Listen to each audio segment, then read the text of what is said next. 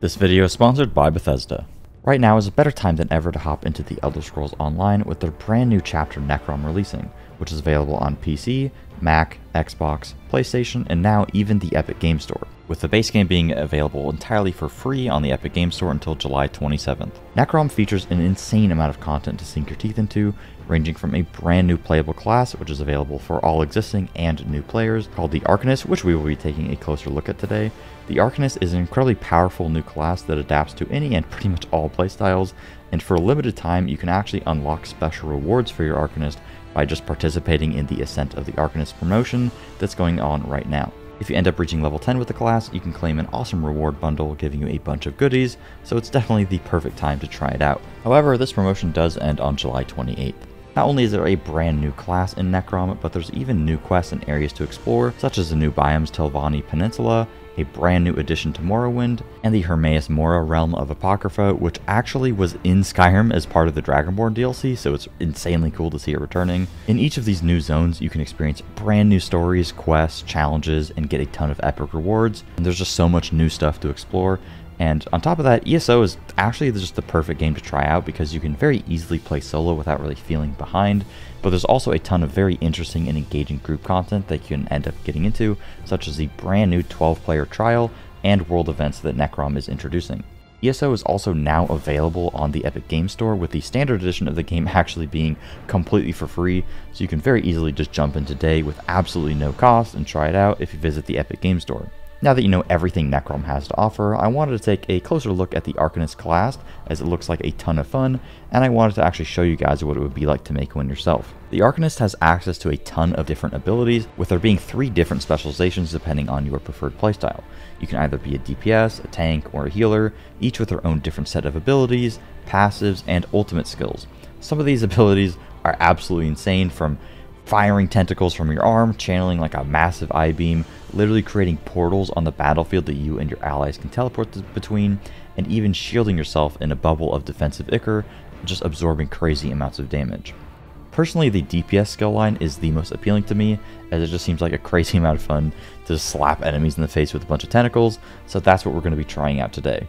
Alright, let's make an Arcanist. Um, it's been a really long time since I've played ESO, so Arcanist selected.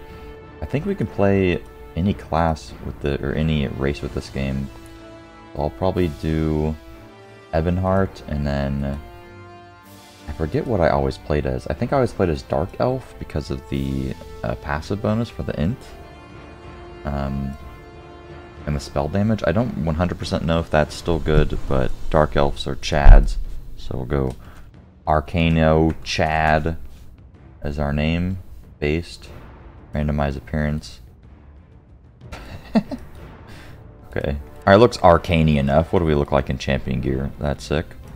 All greeny to fit the Arcanist theme. No gear, this is how I should be. okay. Um, Alright, let's see if we can create it. Boom. Uh, the tutorial, and uh, we don't need to do the tutorial. I had to change a few of my settings, but let's get going. I mainly just want to try out the actual skills, so I'll see you guys when I get some skills. One thing I really like about this game is just how far I can be zoomed out in third person. I really prefer to play third person usually. Get to pick a weapon. What what fits the Arcanist theme? More of like a, you know, a fire staff, right? So we'll start off with the fire staff. So my ultimate goal is to end up getting Abyssal Impact where I can smack enemies in the face with my tentacles. So that means I need to play Herald of the Tome for the DPS spec. At level 1 I got Rune Blade, so is the only ability I have right now. But it's pretty cool, it's one, one of the ones that I showcased earlier. So you just slam a bunch of cards at them. Here, I'll show you guys a little full screen. Does pretty good damage. It doesn't cost too much mana either, so you can kind of just spam it, which is a lot of fun. I might mess around with some of the other abilities as well as I start to unlock them. I'm really just looking forward to getting uh, Fate Carver and Abyssal Impact here. I leveled up and made it to Telvanni Peninsula, which I was talking about earlier in the video, and this place is sick. It kind of reminds me of uh, Zangarmarsh, if any of you guys have been there. There's a bunch of massive mushrooms everywhere. But also, with me leveling up, I got another skill point, Unfortunately, actually, I guess, yeah, yeah, yeah I want to use my eye-beam. So I got access to the eye-beam. I thought I was going to, I'll probably spec into Runic Jolt here um, in a little bit. I actually have another skill point for it too. So I got the massive eye-beam that we were shown earlier, and I also got the uh, defensive rune that also deals damage and it reduces the damage that the enemy does. So let's check out check out the eye-beam. on one of these dudes.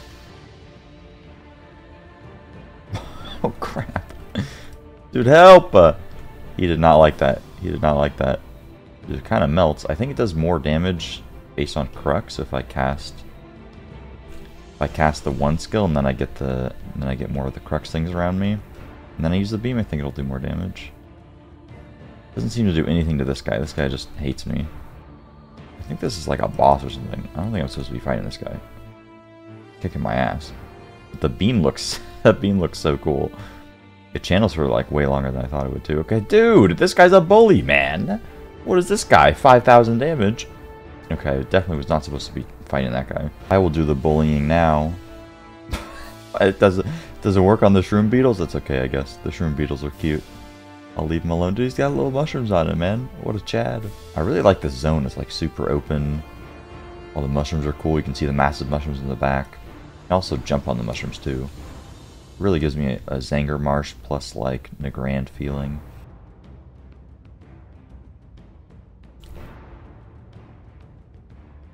I didn't think there was fall damage. it's okay, it's okay. I revive right here, easy. Yeah, you want to generate all your Crux with this spell, and then if you use your Eye-Beam, then it spends all of it, and then it does a crap load of more damage. And then the new spell that we got is this one. Pretty much just hit them, do a little bit of damage, and then it reduces the damage that they take, that they do to us. That's pretty good. Um, right now, I'm just a 1 and a 2 spammer, because I want to be an Eye-Beam gamer. Eye-Beam Gaming. Holy crap, that guy got that guy got smelted. One of the things I like about the Eye-Beam is that it just can hit an infinite amount of mobs. So I'm gonna do is I'm just gonna group up everything in here. I'm gonna try to Eye-Beam all of them. Please don't kill me. this might not have been a good idea, but I want to try it. Alright, now I can blast all of them. Oh, oh, oh. Bzzz. Go, dude. Alright, again, because these guys were these guys were spread out. These guys hate my fun. Look at that. Holy, oh, easy melt, dude. And the more that, okay, level 4, level 4? Big. The more that I also use these skills, the more that I'm leveling up my Herald of the Tome. So I'm actually going to get my Tentacle a lot faster than I thought I was going to. I'm almost at level 6 already. I do need to be level 20, but it seems to be leveling really quick. And every time I level it, um, the damage of this stuff is just going to get better and better. My skill points, I may actually put the point into uh, healing myself through the Rune Mend rather than the Runic Jolt, because this is kind of nice, but I, am not taking too much damage right now, and having the heal I think would be pretty good. I could also level up my staff, but I'm mainly focused on trying to get my big tenty. Yeah, the heal also actually generates Crux too, which can kind of be used to give us more damage too, so that we can heal ourselves and then generate Crux to um, use the Eye-Beam, so that's pretty good. Oh, we got a little we got a little boss fight. I can show off my epic healing hack. Just gonna melt this dude. I'm just gonna beam this dude up. Can't even handle the beam hack. Infinite damage. I think I'm supposed to stand here. I'm supposed to sure use the wrath, alright. Out of the CC. Not sure what this tentacle is that I'm spawning. But dude, the beam just melts this guy. And look. Do some damage, noob. Guys, this guy sucks. Do some damage. Look at the healing. Big heal. Kill some ads. Just, just annihilated. No big deal. I can do this thing so he does less damage. My three, I forget what it's called. Uh, hopefully we just melt him down here with the beam. World's easiest boss fight because beam is just OP. Get annihilated, dude. Couldn't handle the heat. Let's go. I completely forgot about morphing, so I can morph my rune blades, which is the crux generator, into writhing rune blades See what the difference is. Basically, I would just make it do more damage, and it can scale off of crit. And this one makes it do a lot of AoE damage. I think I want to have it scale off of crit, but there's also... I'll spend my skill point there, and my next skill point I can get a passive, which is really good. I just get a ton of extra crit damage anytime I generate or consume Crux, so that's going to be really nice for us. Unfortunately, I don't think I'll get to level 10 today because I got to take my cat to the vet, but there's a few things that I've learned. I've had a lot of fun with my time so far. One of the really cool things that I like about the class, and that I think is just a thing systemically, is that I can play with a lot of the different abilities. So I've been playing with um, this healing ability the whole time, and I actually just morphed it as well, so it heals me a significant more amount, and it also generates Crux. So I just generate a whole bunch of Crux while healing myself, and the Crux just makes it to where I can then use my beam and do significantly more damage. and also I'm using the Jolt so that the enemies that I'm fighting just do less damage to me. And the more Cruxes that I have, the less damage that the enemies will be doing to me. So it all just works very synergistically, but I'm still able to dump a bunch of skill points into my main skill line. Unfortunately, I didn't get the Tentacle, which is what I really wanted to play with, but I don't have too much more time left. But I've really been enjoying the playstyle of generating the Crux with my first ability, and then spending it with my second one, just absolutely nuking. And then anytime that, you know, I'm taking any amount of damage, I can just heal myself and get some more Crux here. Let's fight this guy up here. What up, bud? So he'll hit me a little bit, and then I can I can pop my heal, and that generates Crux, pretty much full heal instantly. And then I can just smack him up and spend all the Crux on the beam to just nuke everything. My cat does not like it when I, when I record videos. There's way more stuff that I really am... Um, God, I'm so bad at the menus. There's way more stuff that I really wanted to try out um, that I'm super eager to see. The Unblinking Eye. This thing seems pretty crazy. Just seems nice to have a little minion just do a whole bunch of damage for you passively while you can still do damage, and it you know is unlocked at level 12, so you get that pretty early on. Abyssal Impact is really what I was looking forward to. But I just like all the options that you have. You have so many different skill points, you can really just like mix and match between the builds, and you can also pair that very nicely with a lot of your like other stuff. So with my light armor, I can actually um, reduce the mana cost of stuff with um, Evocation here, so just pairs very nicely with the build overall.